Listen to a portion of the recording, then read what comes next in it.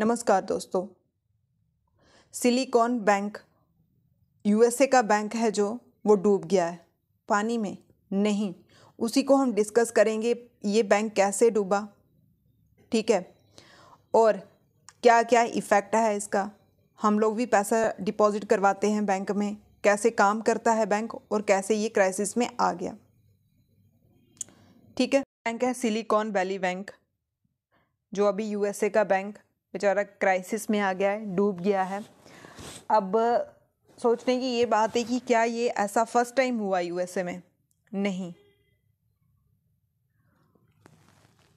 2008 में 2008 में एक बैंक और था वॉशिंगटन म्यूचुअल ठीक है? उसमें भी फाइनेंशियल क्राइसिस आई थी, वो बैंक भी डूब गया था।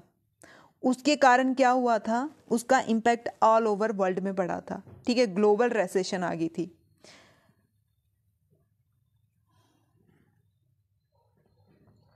ठीक है, पहले तो ऐसे बोलते थे कि अगर यूएसए को छींक आ जाए तो जुकाम सभी कंट्री को होता है, लेकिन 2023 में ये कंडीशन नहीं अप्लाई होती। इम्पैक्ट पड़ते हैं, पूरे नहीं पड़ते इम्पैक्ट ठीक है तो जो अभी सिलिकॉन वैली बैंक है उसमें क्राइसिस आया है। पहले हम देखते हैं ये बैंक क्या है, कौन सा बैंक है? ये एक कमर्शियल बैंक है। कब बना था ये? 1983 में। ठीक है, इसका हेडक्वार्टर कैलिफ़ोर्निया में है। और ये यूएसए का सिक्सटीन लार्जेस्ट बैंक है। ठीक है? अब इसका थोड़ा बैकग्राउंड हम देखें तो 1983 में ये बना और इसने फ़र्स्ट ऑफ़ ऑल बैंक का क्या काम होता है? हम लोग भी बैंकों में पैसे जमा करवाते हैं, है ना? जैसे हम लोग भी बैंकों में अपनी पैसे सबमिट जमा करवाते हैं, ठीक है डिपॉजिट करवाते हैं, और बैंक भी आगे इसको क्या करता है? इन्वेस्टमेंट करता है, जैसे वो लोन दे देता है किसी को स्टॉक मार्केट में लगा देता है, या फिर गवर्नमेंट बॉन्ड में लगा देता है है ना? वो भी आगे क्या करता है? अपना बिज़नेस चलाता है। और 1990 में देखा जाए, जो ये सिलिकॉन वैली बैंक था, इसने हाफ़ शेयर अपने मतलब जो हाफ़ इसका रिज़र्व था, वो किसमें लगा दिया? रियल स्टेट में। ठीक है, रियल इस्टेट में इन्वेस्ट कर दिया। अब यहाँ पे इसकी प्रॉब्लम ये है कि एक, उसके बाद एक कंसेप्ट आता है डाइवर्स पोर्टफोलियो इसका ये मतलब है कि जो अपनी सेविंग है पोर्टफोलियो होता है कि जो हमारी सेविंग है, जैसे हमने कहीं कहीं से इकट्ठा किया पैसा, उसको हमने डाइवर्स तरीके से लगाना है। अब जैसे कुछ पैसा हम सपोज़ हमारे पास थाउज़ेंड रुपये हैं, इसको कुछ हमने गोल्ड में लगा दिया, कुछ शेयर मार्केट में लगा दिया, कुछ हम एफडी में लगा दें, ठीक है। अब ये नहीं है कि हम फिफ्टी परसेंट अपना फाइव हंड्रेड अपना सिर्फ़ गोल्ड में लगा दें। इससे क्या होता है? डूबने का ज़्यादा चांस होते हैं। तो इसने क्या किया? इस बैंक ने 1990 में अपना हाफ़ जो पैसा था, हाफ़ रिज़र्व था, वो रियल स्टेट में लगा दिया। फिर 2015 में इसकी अच्छी ग्रो होने लगा, ये बैंक जो अच्छा ग्रो होने लगा। और जितने भी स्टार्टअप थे, स्टार्टअप सर्विस थी, वो सारे 65 परसेंट इसी में क्या करने लगे? अपने डिपॉजिट करवाने लगे। ठीक है? और 2022 आते आते ये एक सिक्सटीन लार्जेस्ट बैंक बन गया। सबसे ज़्यादा इसको बेनिफिट होता है लॉकडाउन, कोरोना। वही अब लॉसेस के क्या कारण है? कैसे डूबा ये सबसे ज़्यादा इसको बेनिफिट कब हुआ? Lockdown, corona. क्यों? सब कुछ बंद था। क्या चल रहा था? सॉफ्टवेयर कंपनियाँ चल रही थी। अब सॉफ्टवेयर कंपनी से क्या मतलब है? जैसे कि ऑनलाइन सर्विस होगी है ना फ़ोन से टेक्नोलॉजी से वो काम ज़्यादा चल रहे थे। ठीक है, वो फास्ट ग्रो कर रहे थे। और इसका जो 65 परसेंट ये किसको सर्विस दे रहा था स्टार्टअप को तो उन्होंने अपना सारा पैसा कहाँ डिपॉजिट करवा दिया? सिलिकॉन वैली बैंक में। ठीक है तो इससे क्या हुआ? इससे इस बैंक में पहले इसके 62 बिलियन 2020 में इतना इसका रिज़र्व था मतलब इतना डिपॉजिट था। और फिर 2021 में 100 परसेंट इंक्रीज हो गया। कितना हो गया? वन टू फोर बिलियन किसके कारण? कोरोना के कारण। ये अब कहाँ जा रहा है?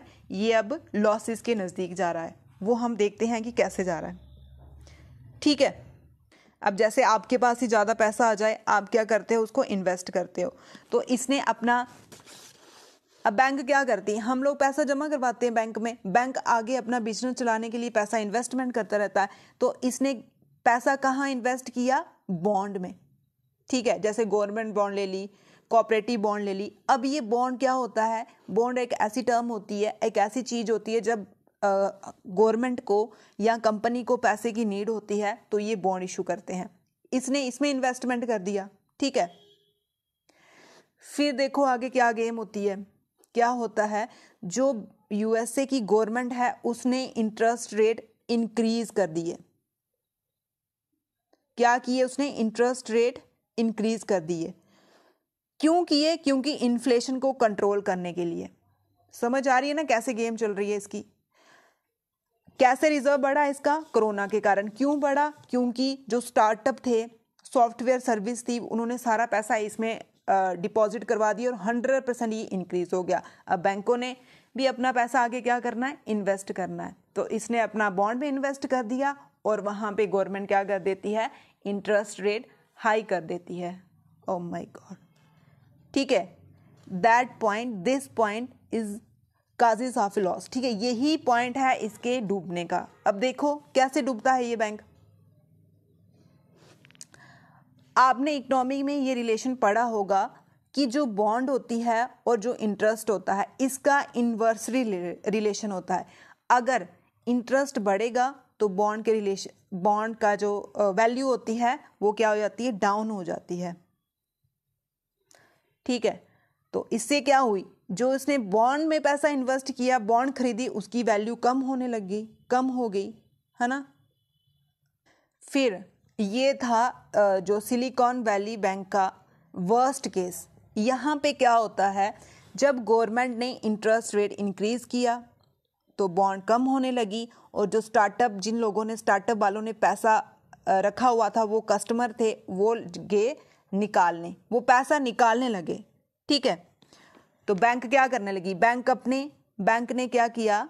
बैंक ने अपनी बॉन्ड बेच दी, ठीक है? बॉन्ड बेची, लेकिन 1.8 बिलियन के लॉस पे। ठीक है, क्योंकि अब बैंकों ने भी तो पैसा देना जिस कस्टमर से लिया हुआ है। अब उनको क्या पता था कि इंटरेस्ट रेट हाई हो जाएगा। तो इसी कारण क्या होते हैं, इस, ये जो चीज़ है, जब उन्होंने देखा कि इन्होंने बॉन्ड इतनी लॉस में बेची बेची तो जो मूडी है है ना, एक मूडी ऑर्गेनाइजेशन है, वो रेटिंग देता है। उसने रेटिंग डाउन कर दी इस बैंक की। उसने क्या की? इस बैंक की रेटिंग डाउन इसके शेयर डाउन हो गए। ठीक है? इसके शेयर क्या हो गए? डाउन हो गए और बैंक रन करने लगा। इसका क्या कंसेप्ट है? ये बैंक रन क्या कंसेप्ट है? बैंक रन का मतलब कि ज़्यादा से ज़्यादा लोग क्या करने लगे? जब न्यूज़ में आने लगे कि हाँ वहाँ पे इस बैंक में ऐसा हो रहा है, इसके शेयर कम लो डाउन हो रहे हैं, इसमें पैसा नहीं है, इतने घाटे में जा रहा है तो क्या करेंगे हम लोग? फटाफट जाएँगे मतलब रश पड़ जाएगा ना वहाँ पे कि हमारा पैसा दो, हम निकालेंगे वहाँ से। अब इसका लॉस का ये कारण नहीं है कि इसने फ्रॉड किया है या स्कैम किया है। ये नहीं है। बस इसका ये है कि जो इसकी अंदर एडमिनिस्ट्रेशन है, उन्होंने एक बैड डिसीज़न ले लिया है। जब पैसा आया इनके पास तो उन्होंने गवर्नमेंट सिक्योरिटी मतलब गवर्नमेंट बॉन्ड में इन्वेस्ट कर दिया। है ना? उसके बाद क्या होता है? अब ये होता है कि अब बैंक में कुछ लिमिट होती है, वो गवर्नमेंट लॉ जैसे मतलब कुछ गवर्नमेंट के लॉ आते हैं, जैसे इंडिया के अलग रूल्स होंगे यूएसए के अलग रूल होंगे कि कुछ लिमिट उनकी सेव रहती है। फिर वहाँ पे जो फेडरल डिपॉजिट ठीक है, कुछ रूल्स होते हैं। फिर उसके बाद जो department of financial protection and innovation है, ठीक है, उसने क्या किया? उसने बोला कि अच्छा इनके पास जितना पैसा बचा हुआ है उससे हम क्या करते हैं? एक न्यू बैंक बना देते हैं। ठीक है न्यू बैंक बना देते हैं और इस बैंक को हम क्या करेंगे? मर्ज कर देंगे किसी और बैंक के साथ। जैसे इंडिया में भी 2021-20 में हुआ था इंडिया में भी, जो पीएमसी बैंक था, वो भी क्राइसिस में जाने लगा, उसके रिज़र्व भी डाउन चलने लगे, उसका डिपॉजिट भी डाउन चलने लगा, उसको स्मॉल फाइनेंस बैंक के साथ यूनाइट कर दिया। ठीक है तो फिर ये अथॉरिटी जो है यूएसए की ये डिसीज़न लेती है कि जितना रिज़र्व बचा है, उससे हम न्यू बैंक बना देंगे और इसको मर्ज कर देंगे। ठीक है? तो अब इसके कारण इंडिया पे क्या इफ़ेक्ट पड़ता है या बाकी जगह देखा जाए तो जिन लोगों ने इसके शेयर खरीदे होंगे, ठीक है स्टार्टअप स्टार्ट किया होगा, ठीक है उसके नेगेटिव साइड जा रहे हैं ये सारी चीज़ें। ठीक है, ये था सिलिकॉन वैली बैंक क्राइसिस कैसे क्राइसिस आया इसमें। क्राइसिस का यही था कि पहले हाई रेट में गया, हंड्रेड परसेंट रिज़र्व हो गए, गवर्नमेंट बॉन्ड में लगा दी इसने, फिर गवर्नमेंट ने इंटरेस्ट रेट इंक्रीज़ किया तो बॉन्ड गिरने लग गए, है ना? बॉन्ड गिरने लग गए जब तो ये घाटे में जाने लगा, घाटे में इसने बेचने लगे उसको, ठीक है? तो लोग ज़्यादा, जो कस्टमर थे वो ज़्यादा से ज़्यादा अपना पैसा लेने जान लगे तो इससे क्या हो गया? बैंक क्लैप्स हो गया।